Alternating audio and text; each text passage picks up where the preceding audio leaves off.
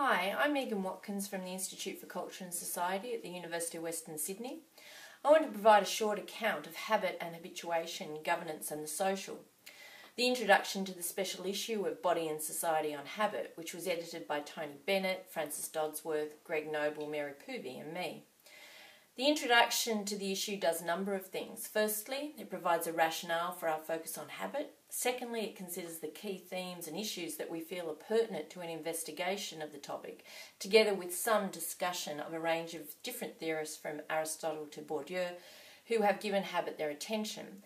And lastly, we provide a brief account of the nine articles and two shorter commentaries that comprise the issue, written by scholars from across the humanities and social sciences. So, firstly, why habit?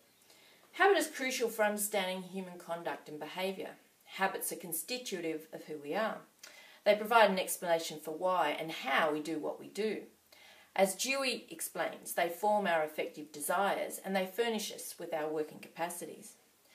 Dewey's take on habit, however, tends more towards a positive, emphasising our reliance on habits to function effectively and to make automatic, routine aspects of life, which can then free us for more creative and analytic pursuits. Not all treatment of habit, however, is so positive, and in fact, the split between the positive and negative aspects of habit is what characterises accounts across various disciplines. Aristotle, for example, highlights the positive dimension of habit, which is also evident in the Christian theology of Thomas Aquinas through to the philosophies of Locke and Hume. Positive takes on habit are also found in the work of the 19th century French philosopher Felix Ravaisson, who influenced Bergson's account of habit and memory, which in turn was instrumental to Deleuze's conceptualization of habit in difference and repetition. Theorists whose work is variously examined in contributions by Clare Carlisle, Melanie White, and Elizabeth Grosz in this issue. Similarly influential in Deleuze's productive take on habit is Gabriel Tarde's account of the role of imitation in social life, a discussion of which can be found in Lisa Blackman's contribution to the issue.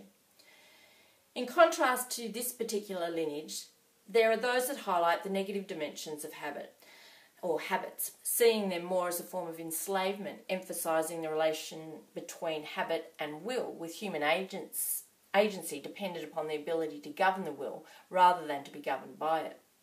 Such accounts are characteristic of Descartes and Kant and in different ways have influenced the work of Durkheim, Mauss, and Bourdieu.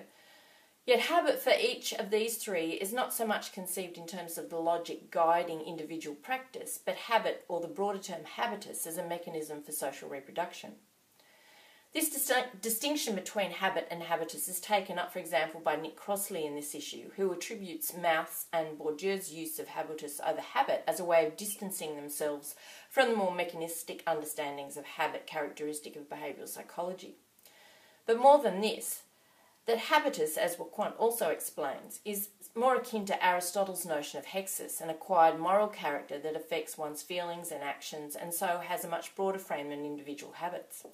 The socially reproductive nature of habit is central to Durkheim's account of the division between primitive and modern societies, the ways in which he conceives of the former as governed by instinct and habitual behaviour, and the latter possessing the means to fashion um, its behaviour through self reflexive will. It is this distinction which provides the rationale for forms of colonial governmentality and remains a defining feature of Western liberalism, a theme explored in Tony Bennett's contribution to this issue. Habit is indeed an intriguing concept. As Poovey and Clark, uh, uh, Crook sorry, point out in their commentary pieces, it operates as a switch point between some of our fundamental categories nature, culture, individual, social, mind, body.